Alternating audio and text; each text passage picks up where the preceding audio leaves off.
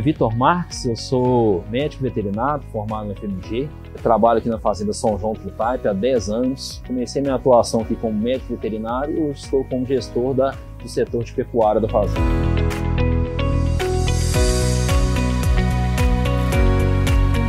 Meu nome é Pedro Henrique, trabalho na Fazenda São João há 10 anos e há 10 anos eu trabalho no setor de área.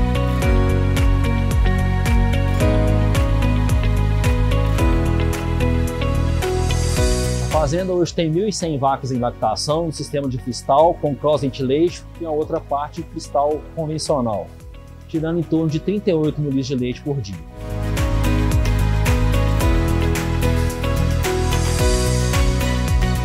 Hoje nós estamos aqui no Bezerreiro para falar da, da vacina Inforce. Já tem é, cerca de 5 anos que a gente usa a vacina.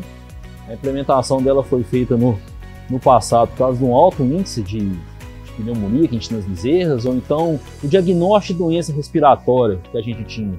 Esse número era de 60%, chegou até 70%, e se confundindo muito com aquelas bezerras que ainda o nosso número de diarreia é muito alto. Então a bezerra debilitada de diarreia, ela apresentava alguma dificuldade respiratória também, por causa de outros motivos, então a gente acabava confundindo bastante o diagnóstico e tratando bezerras erroneamente ou então com, com dúvidas no diagnóstico. Com isso, a gente foi vendo uma grande melhoria, principalmente nos primeiros dias de vida da doença respiratória no bezerreiro, e resolvemos depois, a gente viu um aumento com 60 dias, em torno de 50, 60 dias. Então, nós implantamos também a vacina com 60 dias. Então, hoje, como é que funciona? Todo mundo que nasce toma, espera juntar 10, e depois, com 60 dias, nós temos pesagens semanais por faixa de idade, então toda semana as bezerras que estão com 57 a 63 dias de idade são pesadas, para a gente ver o ganho de peso, então nessa rotina a gente vai lá e aplica em força.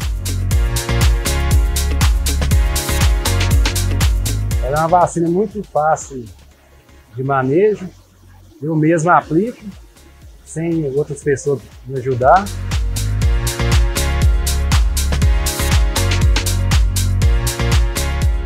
Hoje o número está em torno de 10% de bezerras com, com pneumonia aqui no, no bezerreiro. Esse número já foi bem maior antes.